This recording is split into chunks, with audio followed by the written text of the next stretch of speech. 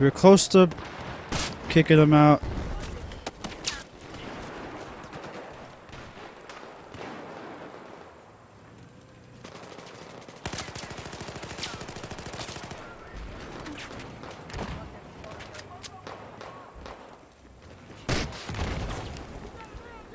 Well, damn.